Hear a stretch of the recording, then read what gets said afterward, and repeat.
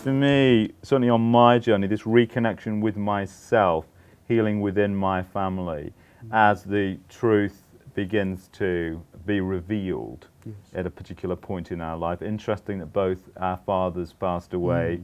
Why do you think that, that your father passed and then? I've thought quite a lot about this, mm-hmm. the timing of why then. And the best I can come up with is that when my mother and father, who were married for nearly 50 years, when they're a unit, there is very little space to approach these deep issues because they had to keep their trauma sealed up. Mm-hmm. That is the nature of a survivor's mind. Mm-hmm. To start a new life and a new beginning, raise a small child, you know, escape from a revolution in Hungary, all that, it's quite a lot. So their priority was to put that out of mind. I mean, putting it into the right brain, out of mind.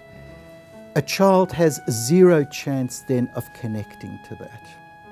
Now, when my father passed away, my mother is no longer able to be sealed up in that relationship. Yes.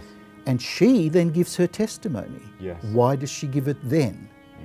I think we're both starting to be um, mobilized by the grief and the loss and the shock. And nothing less than something as deep and powerful as next of kin passing Yes. can really find the combination lock to open that up, I think. Which is the lock of. Well, for me, the translating the lock, it's the frozenness starting to defrost. So I use a different metaphor than Yeah. lock and key. Yeah, yeah. Because in trauma, what I would say, we lived a frozen family life. With his passing, my dad's passing created so much heat that I think my mum's frozenness was brought into the present day. She was frozen from 1944 45. My frozenness from perhaps before birth into the frozen environment, then going through a revolution and escaping and so on from Hungary, I think my frozenness melted me.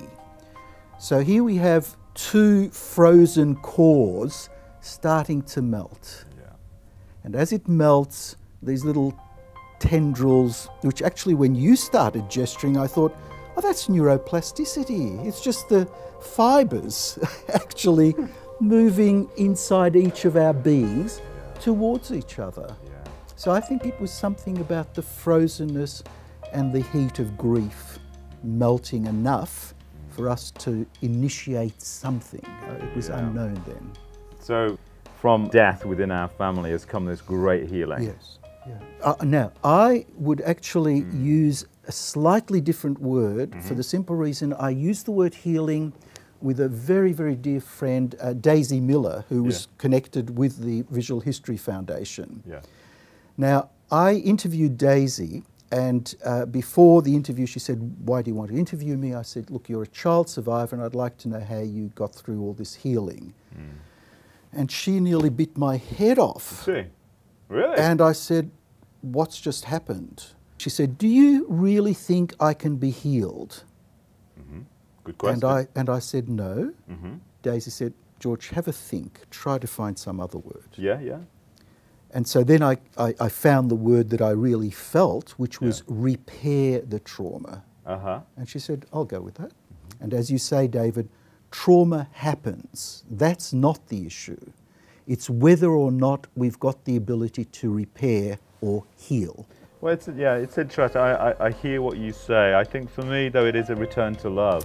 Yes. It's a return to love, and I think there's, there's, there's a well, I know there's a publication out there, a return to love. Yes. Where have we come from? Love. Where are we going back to? Love.